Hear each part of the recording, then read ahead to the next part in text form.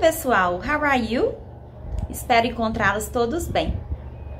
Nessa English Class de hoje, vamos fazer uma atividade de revisão, pois a nossa avaliação bimestral está chegando em breve.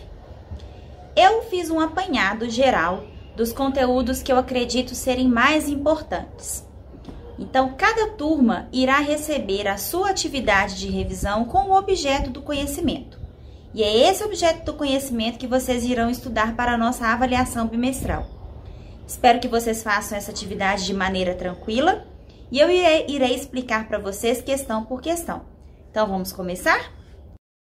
Número 1. Um, leia as perguntas e responda corretamente. Observe o máximo de itens nas perguntas, o verbo principal e a figura. Tudo isso oferece pistas para a resposta. O primeiro eu já fiz como modelo. Can it run very fast? Ele pode correr muito rápido? A figura é um leão. Pensem, o leão pode correr muito rápido? Sim ou não? Sim, ele pode. Então a resposta é Yes, it can. Agora vocês irão observar as outras imagens e a pergunta que é feita para cada imagem. Pensem se esta imagem, se o animal ou o objeto pode executar aquela ação referida na pergunta. A da cobra. Can it play football? Do peixe. Can it swim? Do macaco.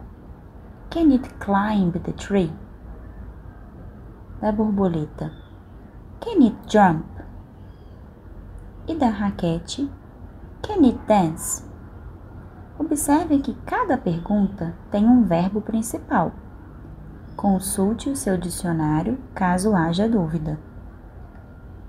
Questão 2. Procure os esportes no caça-palavras. Quais esportes?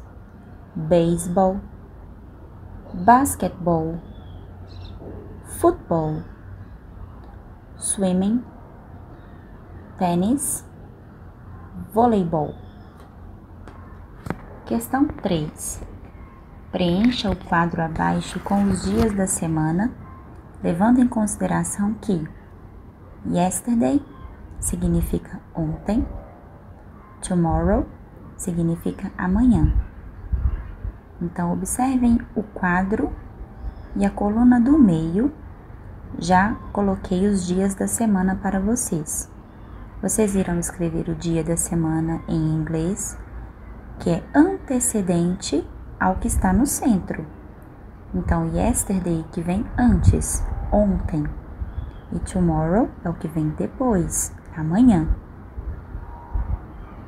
Questão 4. Preencha corretamente com o verbo to be. Lembrando que os verbos to be são is, are ou am. A primeira frase, I, a teacher. Qual desses três verbos é o correto? O segundo, Cindy, a student. Qual desses três verbos é o correto? Em seguida, Emma and I, singers. Então, um dos três. E o último, they, happy. Qual dos três é o correto? Bom, pessoal, espero que vocês tenham entendido a explicação dessa atividade de revisão. E caso você tenha dúvidas em conteúdos anteriores, Retome as videoaulas e as atividades, inclusive aquelas que eu já fiz as correções. Vocês irão então em breve receber as, as avaliações bimestrais e eu espero que vocês estudem para que façam de maneira bem tranquila.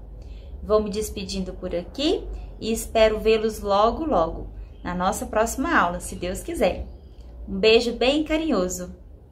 Bye, bye!